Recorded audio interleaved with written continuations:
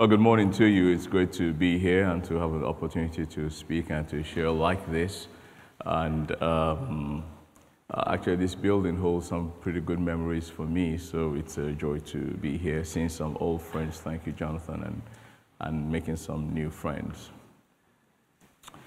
Therefore, remember that you who at one time, you Gentiles in the flesh, called the uncircumcision by what is called the circumcision, which is now made in the flesh by hands. Remember that you were at that time separated from Christ, alienated from the commonwealth of Israel, and strangers the, to the covenant of promise, having no hope and without God in the world.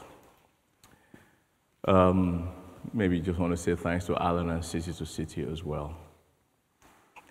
Uh, the topic before me, looking at Ephesians chapter 2 and talking really about diversity is something that uh, a big deal for me. And I'm sure if you live in a city like this or in a nation like this, or frankly, any part of the world, sooner or later, this is going to come knocking at your door. And if you say that you are a Christ lover and that the gospel resides in you and you're seeking to live it out, you will have to meet with this. And prayerfully, one hopes that you will confront it righteously. But for me, whenever I think of this, I I am quick to think that the fact that the, Bible, the God of the Bible loves diversity. And I think every leader really needs to start there. He loves diversity from the first chapter of the first book of the Holy Bible, where we see diversity represented, where the Bible tells us how that God, having made the heavens, by the way, plural, goes on verse 11, and talks about the fact that He made the plants. And in making the plants or vegetation, he made seeds, he made plants, he made fruits uh, of all, all kinds, all sorts. Um, I grew up in a context where, to be honest, by and large, you saw uh, a little bit of grass, not a whole lot, and then you saw the trees in the forest. You didn't think that much in that way about it. Certainly not me. I would come on to live in the UK like this and find out that there's a almost a whole religion dedicated to the study of plants and botany, get to university and so on. And then, of course, you find out that there are over 390,000 species of plants. And even those who study it are quick to say, you know, that's what we know as of now. I love statements like that because it shows off the grandeur of God and the limitations of man he made plants, all kinds, all sorts. And if you were to ask him why he has done it, done it that way, I think he would say because he liked it. God is not accountable to anyone because he likes it so. Diversity in plants. In Genesis chapter 1, from verse 20, you see diversity as represented with animals how that he made, you know, the birds of the air and the beasts of the sea, of the land, and the, you know, the fish in the sea, and on and on and on. Um, again, first coming to live in the UK and seeing uh, the tiniest of dogs. the, the, just, just, just the tiniest of dogs, you know uh, where I grew up, dogs were, dogs were, they were larger, bigger, and they had self-respect for themselves, you know. and then I would come here and find, I, I didn't even know they were dogs. I, I, what kind of animal is that? Oh, you would find out that the God of heaven made them all kinds and all sorts. On and on and on. 400, 500,000 actually, different species of animals. And they are quick to say that we still discover something like 10,000 other species annually. I just read this yesterday. If you were to ask the God of heaven, okay, it's a little over the top, isn't it? I mean, why would you make so many in so diverse ways? He would say, I like it so. God loves diversity. It's represented from the very beginning of the book and not to be missed. It says in Genesis chapter 1, verse 27 and he made them male and female. Male and female created he them because he wanted it so. God loves, he loves diversity. And that diversity, not just doesn't like diversity, he loves unity. And somehow he's made it in such a way that all of creation uh, flows together and coexists in sync somehow. That it's all unified in some kind of way because it all comes from the first cause, you see. He loves diversity, he loves unity, and they coexist together in community, mimicking what exists in the Trinity. What you're really seeing is the mastery and majesty of the Trinity and the beauty that comes from it. That's how God made it, that's how God wanted it. There is no error, there is no mistake in any of this. Uh, this is a joy to tell anyone who feels they are disadvantaged by virtue of their color or anything else. But in the midst of all this beauty would come the fall. Uh, sin would enter into the world. And with the coming of sin, everything gets damaged and destroyed.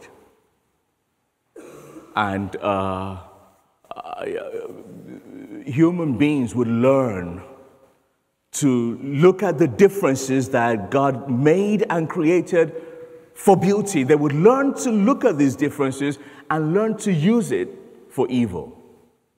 They would learn to look at one another and say, Because you're different from me, you are less than me. And survival of the fittest begins to come about, the differences that exist that were put there by God. The black skin of the African, the white skin of the Caucasian, the brown skin of the Asian, the unique and beautiful facial features of the Oriental. He put it all there on purpose to glorify Him and for man to see and enjoy the differences, but man would go on to hate it because of the nature of the fall. And when that evil works its way through, it's terrible. Uh, six million Jews would be killed because they're different. Um, wars after wars, and you hear about it all the time. The issue is not just racism. I try to tell everyone wherever I can, there's also tribalism. Uh, the wars in places like Rwanda between the Tutsis and the Hutus, who in a space of 100 days, over 500,000 people would be killed. They used to live together and some would coexist. But in moments of fury, as it's drummed up, hatred that was, that was hidden beneath comes to the fore. And when it vents all its anger, it's a horrible thing. Apartheid that existed for so long, and large parts of the world either closed its eyes to it or did not stand up to fight for the privileges of others because their privileges were intact.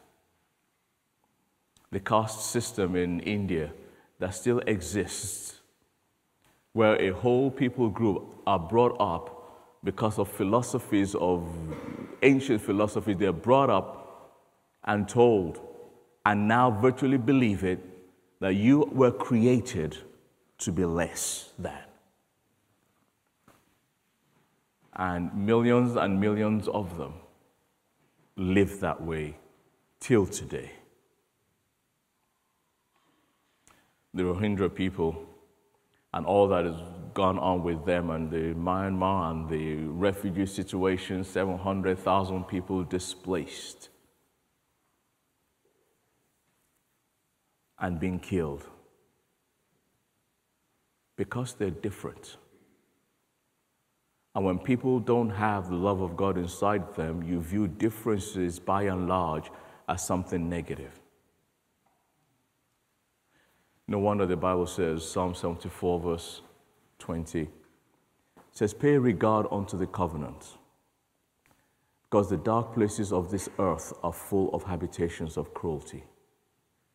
The Bible's of saying, if you live in a way, place that is fallacious and all seems good and good to go, there are dark places that you don't know about. And evil exists there and is perpetuated by those who wanted to stay there and continue that way. It, it's into all this thickness of darkness, of wickedness, that the shaft, that the light of the gospel comes in. And the gospel comes in and obliterates it. It comes in the form, in the name of none other than our Lord and Savior, Jesus Christ, who steps down into darkness. He comes into a situation so horrific, Ephesians chapter 2, verse 12, just read to us. Paul describes how horrible all of that is he talks about you who were once separated from Christ, alienated from the commonwealth of Israel. You were strangers to the covenant, without hope and without God in the world. It does not get any worse than that. Ephesians 2:12. But it's into that uh, because like Philippians says, grace always flows to the grace like water always flows to the lowest parts. That's where that's where it heads every time. It didn't come for the righteous came for the sinner. It goes to the worst parts. It's into that that jesus comes. And it says in coming it says and christ came and he took those who were far off and brought them near by his blood ephesians chapter 2 verse 13 and having brought them together by his blood, he then breaks down the dividing wall of hostility. He obliterates it. That which separates people, which frankly is inside them, he, he cleans them out. And all of this happens inside him, in him, breaking down the, the wall of hostility. Ephesians chapter 2, verse 14. And then bringing the two together and making them into one one new man. You might say a whole new race, you might say. One new man. Ephesians 2, chapter 15, verse 15. And when he did that, bringing them together and, uh, and, and, preaching peace, peace, peace the whole time. He preached peace to those who are far and preached peace to those who are near. Ephesians 15, 16, 17. And so this peace exists. Clearly, it does in our churches, does it not? Our churches are completely mixed in every way. There are black people in our churches, not just on the streets opposite the church. There are white people in our church. They're completely mixed and they're in, they coexist in com- complete joy. That it does not matter if the leader of the pastor is black, doesn't matter if the leader of the pastor is white, they have gone beyond all of that. They coexist because this gospel we preach is powerful and we boast about it every Sunday, uh, what it can do. No wonder our churches are completely mixed. No wonder the whole world is looking around and saying the solution to racism can be found in the church because you just have to walk to a church and you see them all so diverse. No wonder people who are minorities come into our churches and find wholesomeness and love and unity. And, and the, as it were, they forget, in a sense, who they are because they've come to see who He is. Wouldn't you just love for that to be the story? I would. I would. You would. There's no other reason for you to be here. You haven't come to Look at my good looks. I see you don't believe that I have good looks.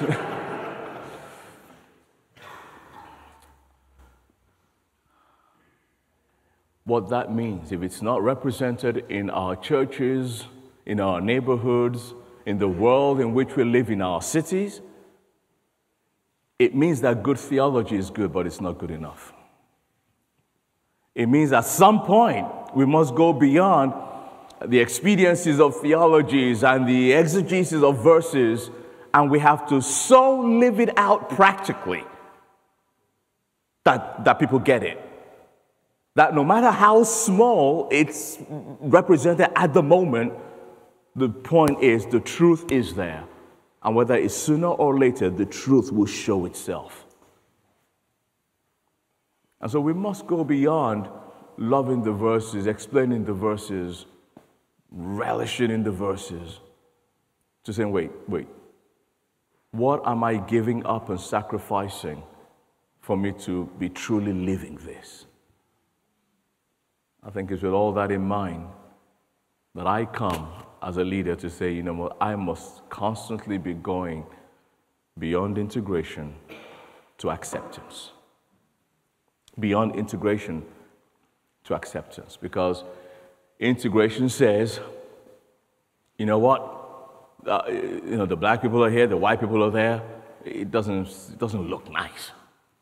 You know, we live in a better world now. Let's mix this thing all together. Let's pass laws that obliterate racism. That I am all for those laws. Because where there is no law, there is no sin, but we know there's sin everywhere. So I'm, I'm grateful to God for those laws. Oh, but the Christian needs to know that we go beyond those things to a greater depth beyond integration to acceptance. Integration says, you know what, uh, it looks bad that, you know, everybody up front is white. Let's find a few black ones and just, just, just fix it. Put it, just put them in. Five white, five black, whew, it's done.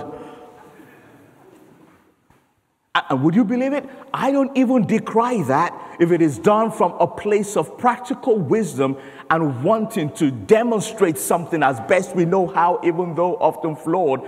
As long as it's gone through that depth and then coming back out, great. But if it's just cosmetic, it's going to hurt people in the end. Oh, the Christian needs to go where the gospel goes, beyond mere put them together, fit them together, beyond integration to acceptance.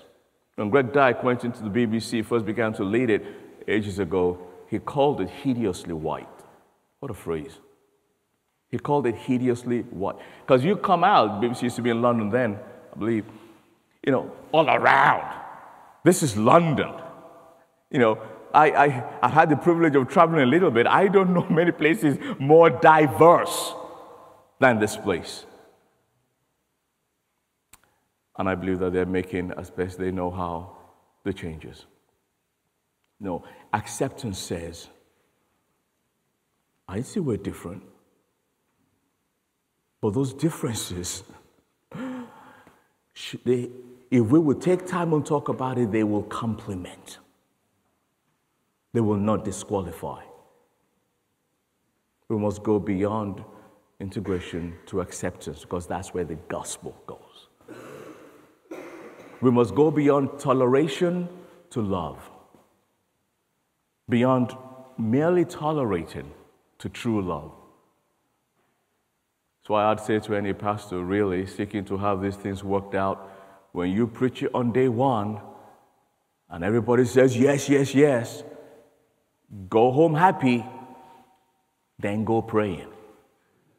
Because when the journey starts and the challenges come, you might end up finding out that, oh, people's yes doesn't quite meet up with their actions.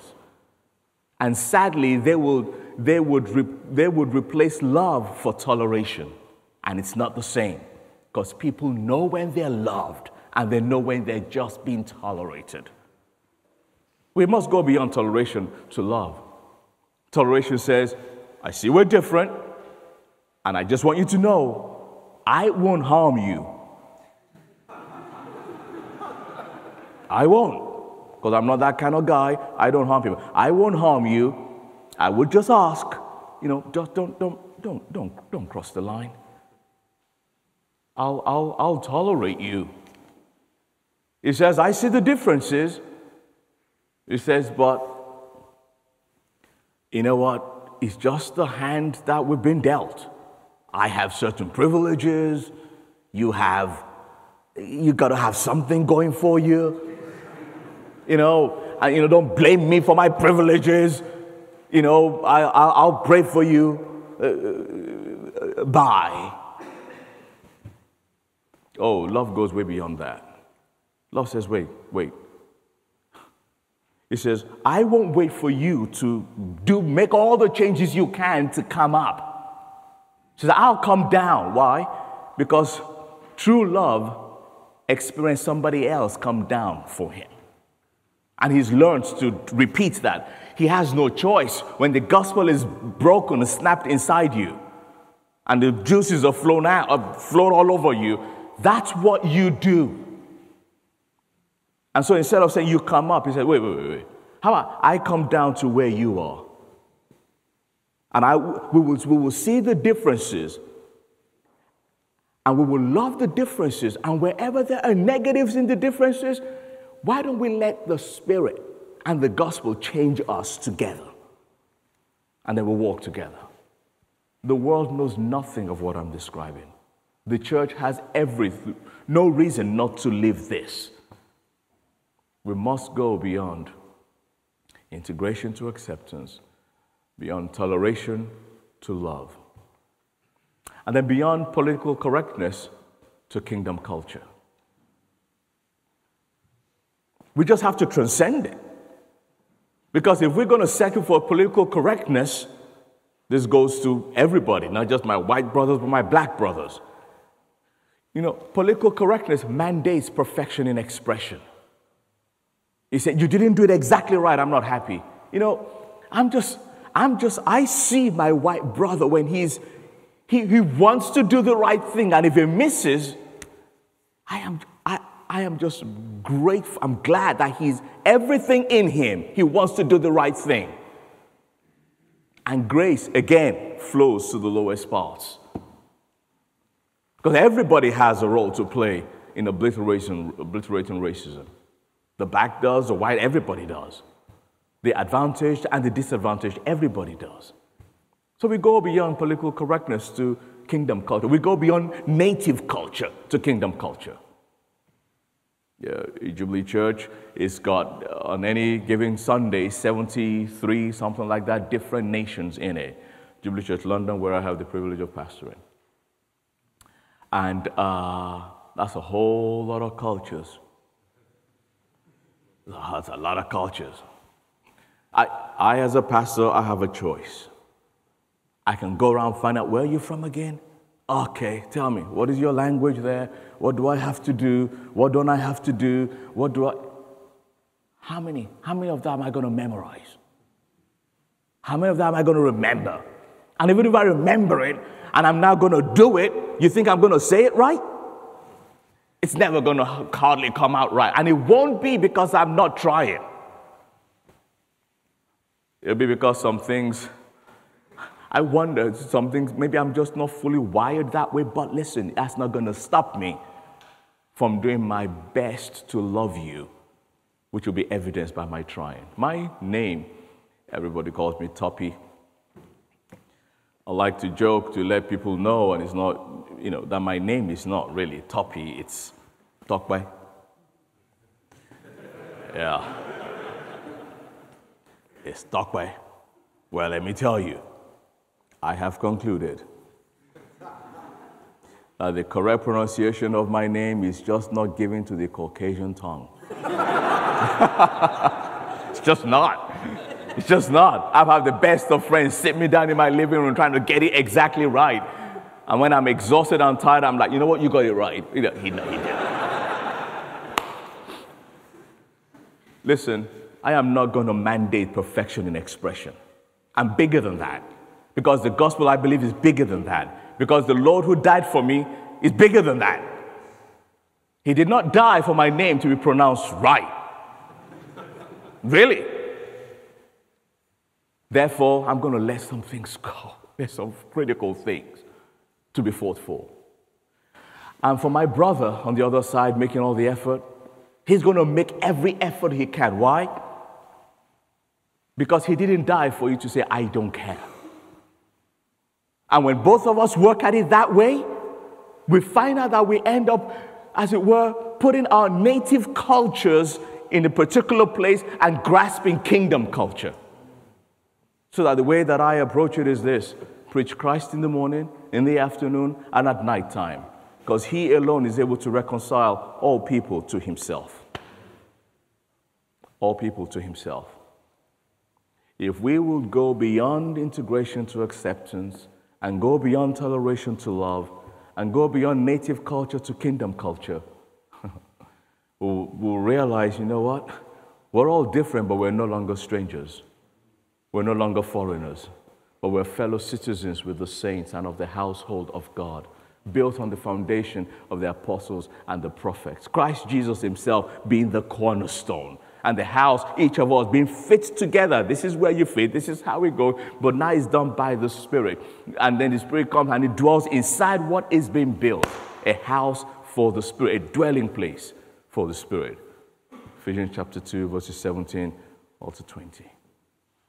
When we do that, there is a power that comes into play that despises description that is subtle in its expression, but when people come around it or smell it, they know, they feel welcome, they know that they're loved. Is why he said, When you do these things, by this shall all men know that you are mine, when you shall love one for another.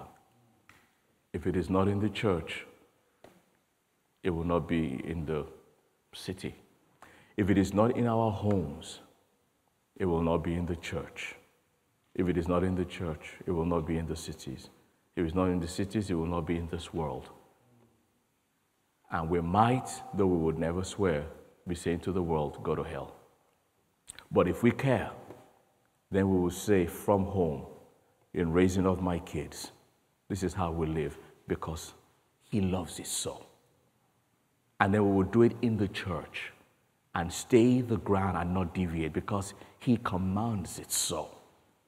And bit by bit, as we go church planting and so on, it begins to be evidenced everywhere. God bless.